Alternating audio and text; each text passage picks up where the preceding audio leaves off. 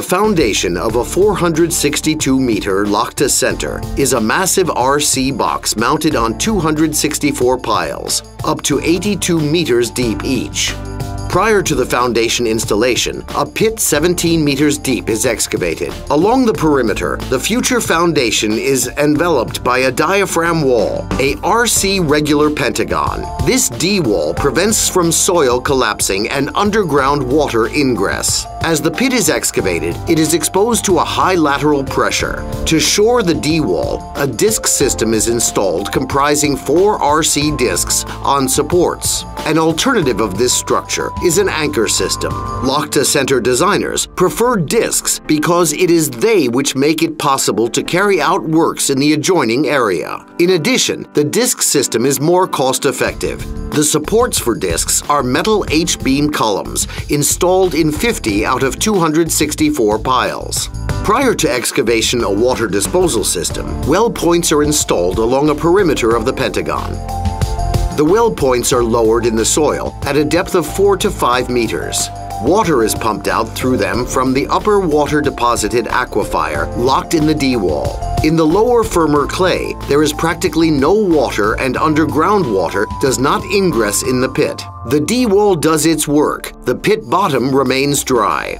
At first, a reinforcement cage is installed along the inner perimeter of the Pentagon. Reinforcement is installed. Then concrete is poured in the structure. Grab excavators installed on platforms at the angles of the Pentagon excavate soil from the pit and load it on dump trucks. Trucks deliver it to dump fields.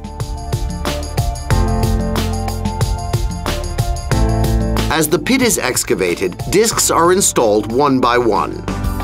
In average, it takes a month to install a disc. At the concrete pouring stage, openings are provided in discs through which later concrete pump sleeves are supplied to the lower levels. So the next discs are poured with concrete. Designated mini excavators are used to excavate soil under the discs. The total quantity of the soil disposed off-site is 100,000 cubic meters. Having achieved a design depth, builders start cutting pile heads. To make certain that piles are monolith, an ultrasound test is carried out through hollow tubes pre-installed in the shaft of each pile, and an additional test. Core drilling is carried out. German specialists sample piles.